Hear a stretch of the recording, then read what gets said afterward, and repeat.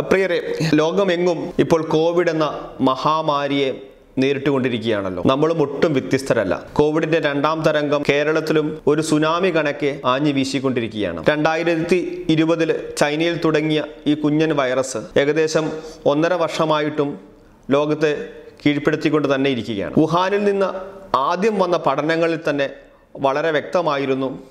ഹൃദയരോഗമുള്ളവരും ഹൃദയത്തിന്റെ പ്രശ്നങ്ങളുള്ളവരും ഈ വൈറസിന്റെ ബാധയ്ക്ക് കൂടുതൽ കീഴ്പ്പെടുന്നുവെന്നും ഈ വൈറസിന്റെ ബാധ ഉണ്ടായാൽ ഹൃദ്രോഗികൾക്ക് അപകട സാധ്യത കൂടുതലാണ് എന്നും പഠനങ്ങൾ വളരെ വ്യക്തമായിട്ടും നേരത്തെ തന്നെ അറിയാമായിരുന്നു. എന്നാൽ ഹൃദയരോഗികൾ എന്ന് പറയുമ്പോൾ എല്ലാ ഹൃദ്രോഗികളും ഈ രോഗത്തിന് അടിമപ്പെടുന്നോ അവർക്ക് കൂടുതൽ പ്രശ്നങ്ങൾ ഉണ്ടാകുന്നു എന്ന് നിങ്ങൾ ധരിക്കരുത്. ഹൃദയത്തിന്റെ പ്രവർത്തനങ്ങൾ മോശമായവർ ആൻജിയോപ്ലാസ്റ്റി ബൈപ്പാസ് അങ്ങനെ സങ്കീർണമായ ഹൃദയത്തിന്റെ ഓപ്പറേഷൻസ് ഇവ ചെയ്ത രോഗികളാണ് കൂടുതലും ഇതിൽ പ്രശ്നങ്ങൾ ഉണ്ടാകുന്നത്. അതുകൊണ്ട് തന്നെ ഞാൻ ഹൃദ്രോഗിയാണ് എന്ന ഒറ്റ കാരണത്താൽ നിങ്ങൾ ആരും ഭയത്തിന് കീഴടങ്ങേണ്ട യാതൊരു ആവശ്യവുമില്ല.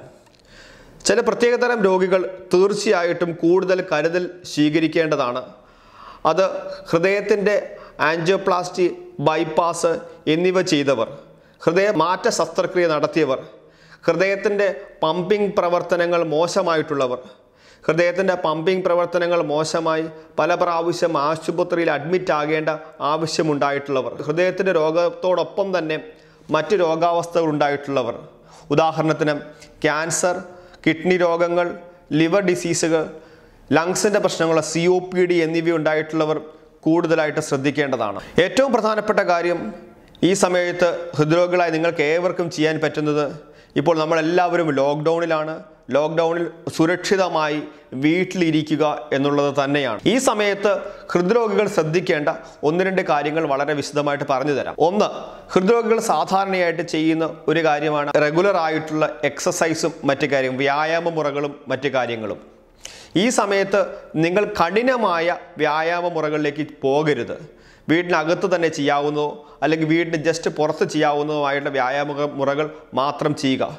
ഇപ്പോൾ ഗവൺമെന്റും കർശനമായിട്ട് പൊതു ഇടങ്ങളിലുള്ള നടപ്പും വ്യായാമവും വിലക്കിയിട്ടുമുണ്ട്. അതുകൊണ്ട് നിങ്ങളുടെ എക്സസൈസുകൾ നിങ്ങളുടെ വീടിനുള്ളിലോ വീടിന് ചുറ്റും മാത്രമേ ആകാവൂ. അതുപോലെ തന്നെ നിങ്ങളുടെ വ്യായാമ മുറകൾ വളരെ കഠിനമാകാതിരിക്കാൻ ശ്രദ്ധിക്കുക. കാരണം ഹൃദയരോഗമുള്ളവർക്ക് കഠിനമായിട്ട് അധ്വാനിക്കുമ്പോൾ ചിലപ്പോൾ പ്രശ്നങ്ങൾ കൂടാനുള്ള സാധ്യതയുണ്ട്. അങ്ങനെയുള്ളപ്പോൾ നിങ്ങൾക്ക് അനാവശ്യമായിട്ട് ആശുപത്രിയിലേക്ക് വരേണ്ട സാഹചര്യങ്ങളുണ്ട്. അതുകൊണ്ട് ആ സാഹചര്യങ്ങൾ ഒഴിവാക്കാനായി കഠിനമായ വ്യായാമ മുറകൾ നിങ്ങൾ ഇപ്പോൾ ചെയ്യാതിരിക്കുക. പിന്നെ രോഗികൾ പറയുന്ന ഏറ്റവും പ്രധാനപ്പെട്ട ഒരു കാര്യമാണ് മരുന്നുകളുടെ കാര്യം. ഹൃദയത്തിന്റെ മരുന്നുകൾ ഒരു തുടർ ചികിത്സ തന്നെയാണ്. ഇൻഫെക്ഷനോ വല്ലതും ഉണ്ടായി? ഒരു ആന്റിബയോട്ടിക് എടുത്ത്? ഒരു ആന്റിബയോട്ടിക്കിന്റെ കോഴ്സ് കഴിയുന്നത് പോലെ കൃത്യം അഞ്ചോ ആറോ ദിവസത്തിന് ശേഷം മരുന്ന് നിർത്തുന്ന ഒരു കാര്യമല്ല ഹൃദയരോഗത്തിലുള്ളത്. ഇത് ഒരു തുടർ ചികിത്സ തന്നെയാണ്. അതുകൊണ്ട് നിങ്ങളുടെ ഹൃദയത്തിന്റെ ആരോഗ്യസ്ഥിതി കാര്യമായ മോശങ്ങളൊന്നും ഉണ്ടായിട്ടില്ല.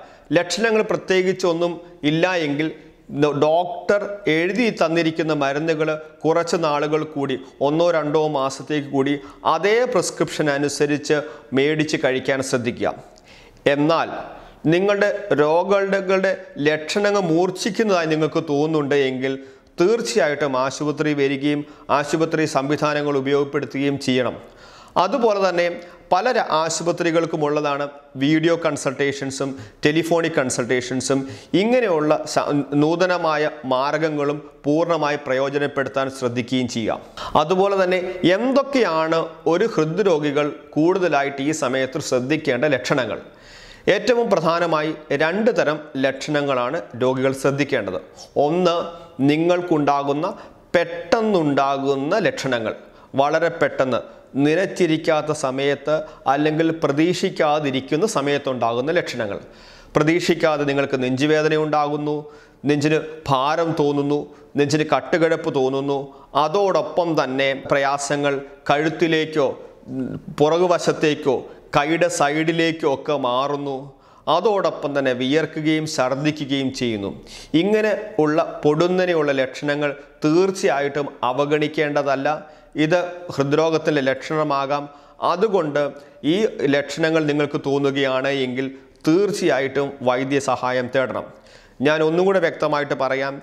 പൊടുന്നനെയുള്ള ലക്ഷണങ്ങൾ അല്ലെങ്കിൽ പെട്ടെന്നുണ്ടാകുന്ന ലക്ഷണങ്ങൾ നിനച്ചിരിക്കാത്ത സമയത്തുണ്ടാകുന്ന ലക്ഷണങ്ങൾ.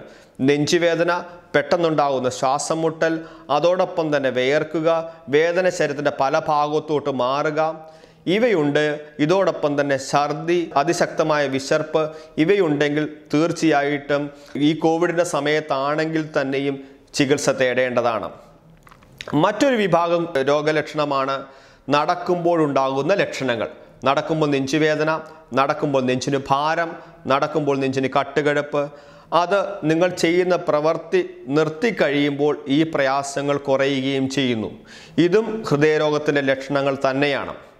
ഈ സമയത്ത് നിങ്ങൾക്ക് ചെയ്യാവുന്ന ഒരു കാര്യം എന്തെന്ന് വെച്ചാൽ ഈ നിങ്ങൾക്ക് ലക്ഷണം ഉണ്ടാകുന്ന രീതിയിൽ നിങ്ങൾ നടക്കാതിരിക്കുക. നിങ്ങൾക്ക് പണ്ട് പത്ത് മിനിറ്റ് നടന്നു കഴി കഴിഞ്ഞാൽ മാത്രമേ ഈ ലക്ഷണം ഉണ്ടായിരുന്നുണ്ടെങ്കിൽ ഇപ്പോൾ നിങ്ങൾ പത്ത് മിനിറ്റ് നടക്കാതിരിക്കുക നടപ്പിന്റെ സമയം കുറയ്ക്കുക.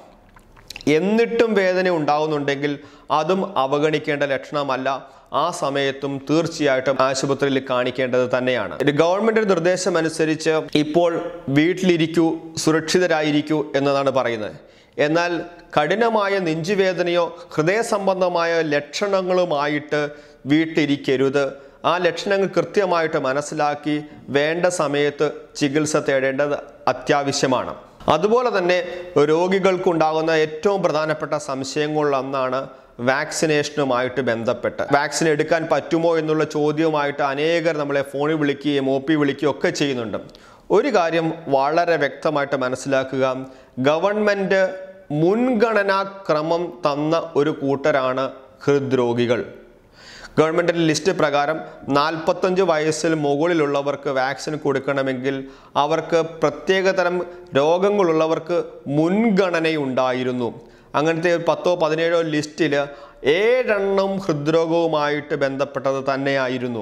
ഹൃദയം മാറ്റിവെച്ചവർ ഹൃദയത്തിന്റെ പ്രവർത്തനങ്ങൾ മോശമായിട്ടുള്ളവർ ഹൃദയത്തിന്റെ പ്രവർത്തനങ്ങൾ മോശമായ പല പ്രാവശ്യം ആശുപത്രി അഡ്മിറ്റ് ആയിട്ടുള്ളവർ ഗുരുതരമായ വാൽവിന്റെ അസുഖമുള്ളവർ ആൻജിയോപ്ലാസ്റ്റി ചെയ്തവർ ബൈപ്പാസ് ചെയ്തവർ ഇങ്ങനെയുള്ള കാറ്റഗറിയിൽ പെടുന്ന രോഗികൾക്കെല്ലാം മുൻഗണന ക്രമം നിശ്ചയിച്ച് ഗവൺമെന്റ് വാക്സിൻ എടുക്കാൻ പറഞ്ഞതാണ്. അതുകൊണ്ട് തന്നെ ഒരു ഹൃദ്രോഗിയും വാക്സിൻ എടുക്കാതിരിക്കരുത്. സ്വാഭാവികമായിട്ടൊരു ചോദ്യം ഉണ്ടാകുന്നത് ഞങ്ങളുടെ രക്തം കട്ട പിടിക്കാതിരിക്കുന്ന മരുന്ന് കഴിക്കുന്നവരാണല്ലോ ഞങ്ങൾ എന്തെങ്കിലും ശ്രദ്ധിക്കേണ്ടതുണ്ടോ? ഇല്ല ഒന്നും ശ്രദ്ധിക്കേണ്ട ആവശ്യമില്ല. കാരണം ഈ നമ്മൾ ഉപയോഗിക്കുന്ന മരുന്ന് നിർത്തിവെക്കേണ്ട യാതൊരു ആവശ്യവുമില്ല. നമ്മൾ വളരെ ചെറിയൊരു സൂചി ഉപയോഗിച്ചാണ് ഈ കുത്തിവെപ്പ് നടത്തുന്നത്. അതുകൊണ്ട് തന്നെ ബ്ലീഡിങ്ങിനുണ്ടുള്ള സാധ്യതയും വളരെ വളരെ വിരളമാണ്. ആകെപ്പാടെ നിങ്ങൾ ശ്രദ്ധിക്കേണ്ടത് നമുക്ക് കുത്തിവെച്ച് കഴിയുമ്പോഴത്തേക്കും അല്പസമയം കൂടെ നിങ്ങൾ ആ സ്ഥലം ഒന്ന് അമർത്തിപ്പിടിക്കുക. രണ്ടോ മൂന്നോ മിനിറ്റ് നേരത്തേക്ക് കൂടി അമർത്തിപ്പിടിക്കുക. അങ്ങനെ ആകുമ്പോൾ ബ്ലീഡിങ് ഉണ്ടാകുന്നുള്ള രക്തസ്രാവം ഉണ്ടാകാനുള്ള സാധ്യത കൂടുതലാണ്. അമർത്തിപ്പിടിക്കുക മാത്രമേ ചെയ്യാവൂ. അവിടെ തിരുമരുത്. അമർത്തിപ്പിടിക്കുക മാത്രമേ ചെയ്യാവൂ. തിരുമരുത്. വേറൊരു കൂട്ടം രോഗികളാണ്. നമ്മൾ രക്തം കട്ടപിടിക്കാതിരിക്കാനുള്ള വാർഫാറിൻ അസിട്രോം എന്നീ ഗുളികകൾ കഴിക്കുന്ന രോഗികൾ. അവർ പ്രത്യേകമായിട്ട് ഐ എൻ ആർ എന്ന പരിശോധന ചെയ്ത് എല്ലാ മാസവും രണ്ടു മാസം കൂടി ഐ എൻ ആർ പരിശോധന ചെയ്ത് ആ മരുന്നിന്റെ ഡോസ് അഡ്ജസ്റ്റ് ചെയ്യാറുള്ളതാണ്. ഇത്തരം രോഗികൾക്കും വാക്സിൻ എടുക്കുന്നതിന് യാതൊരു തടസ്സവുമില്ല. നിങ്ങളുടെ ഐ എൻ ആർ ഡോക്ടർ നിർദ്ദേശിച്ചിരിക്കുന്ന ലെവലിന് ഉള്ളിലാണെങ്കിൽ യാതൊരു സംശയവുമില്ല. നിങ്ങൾ വാക്സിൻ എടുത്തോളുക. ഞാൻ പറഞ്ഞതുപോലെ അല്പസമയത്തേക്ക് നേരത്തേക്ക് ആ ഭാഗം ഒന്ന് പ്രസ് ചെയ്ത് പിടിക്കുക ബ്ലീഡിംഗ് ഉണ്ടാകാതിരിക്കാൻ വേണ്ടി. എന്നാൽ നിങ്ങളുടെ ഐ എൻ ആർ വളരെയധികം ഫ്ലക്ച്വേറ്റ് ചെയ്യുന്ന ഒരാളാണ് എങ്കിൽ വ്യതിയാനം ഉണ്ടാ സംഭവിക്കുന്ന ഒരാളാണ് എങ്കിൽ നിങ്ങളുടെ ഐ എൻ ആർ പല പ്രാവശ്യവും കൂടി നിൽക്കുന്ന ഒരാളാണ് എങ്കിൽ നിങ്ങൾ വാക്സിൻ എടുക്കുന്നതിന് ഒന്നോ ഒരു തലേ ദിവസം ഒന്നോ രണ്ടോ ദിവസം മുമ്പ് നിങ്ങളുടെ ഐ എൻ ആർ പരിശോധന ഒന്ന് നടത്തി ഒത്തിരി കൂടുതലല്ല എന്ന് ഉറപ്പുവരുത്തുക. നിങ്ങൾക്ക് വേണ്ട റേഞ്ചിലാണ് എങ്കിൽ തീർച്ചയായിട്ടും വാക്സിൻ എടുക്കുകയും ചെയ്യുക.